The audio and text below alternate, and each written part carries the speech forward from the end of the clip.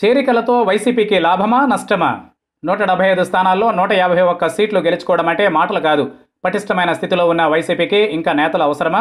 ప్రతి నియోజకవర్గంలో అంతో ఇంతో బలమైన నేతలు ఉన్న నేపథ్యంలో ఇతర పార్టీల నుంచి మరికొంతమందిని తీసుకోవడం ఇప్పుడున్న పరిస్థితుల్లో అవసరమా?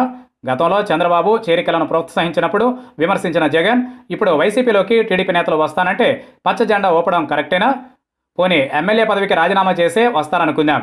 అంత మాత్రాన ఏ లాభాపేక్ష లేకుండా కేవలం ప్రజాసేవ కోసమే వారంతా పార్టీ మారుతున్నారంటే జనం నమ్ముతారా?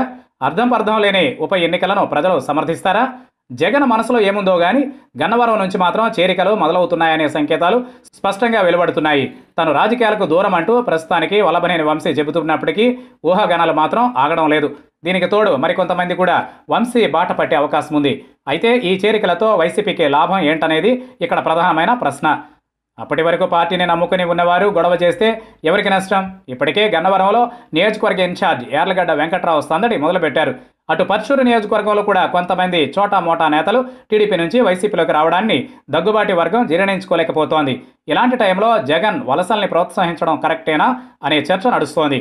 పార్టీలోకి వస్తోంది ఎమ్మెల్యేనా లేక ఓడిపోయిన నేత అనేది అప్రస్తుతం ఇక్కడ. అసలు వలస అనేది ఎందుకనేది ప్రశ్న. వాస్తవాలు మాట్లాడుకోవాలంటే వైఎస్ఆర్ మరణం తరువాత వైసీపీ స్థాపన సమయంలో జగన్ వెంట ఉన్నవారే అసలు సిసలు నమ్మకస్తులు. చంద్రబాబు ప్రభుత్వం ఏర్పడిన తరువాత ఈ లాయలిస్టుల లిస్టు కూడా సగానికి సగం తగ్గింది. అధికారంలో లేకపోయినా జగన్ వెంట ఐదేళ్ళు నమ్మకంగా నిలబడిన నేతలే నిఖార్సైన వైసీపీ నేతలు. సమయం సందర్భం చూసుకుని అలా అలా వచ్చి చేరిన వారంతా అవకాశవాదులే. అంటే వైసీపీలో ఇప్పుడు మహానేత అభిమానులు జగన్ అనుచరులతో పాటు అవకాశవాదులు కూడా ఉన్నారన్నమాట. అయితే జగన్ విషయంలో ఒకటి మాత్రం నిజం. తనని నమ్ముకున్న వారికి ఏనాడు అన్యాయం చేయలేదు అధినేత.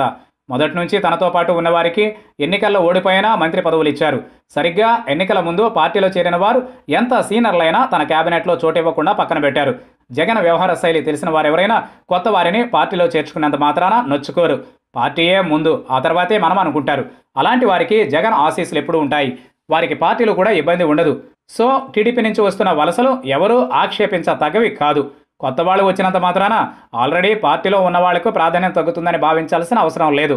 జగన్ నిర్ణయాన్ని బలపరిచే వారంతా కొత్త నీరుని స్వాగతించాల్సిందే. రాష్ట్రాన్ని అభివృద్ధి బాటలో నడపాలంటే అందరినీ కలుపుకొని పోవాల్సిందే.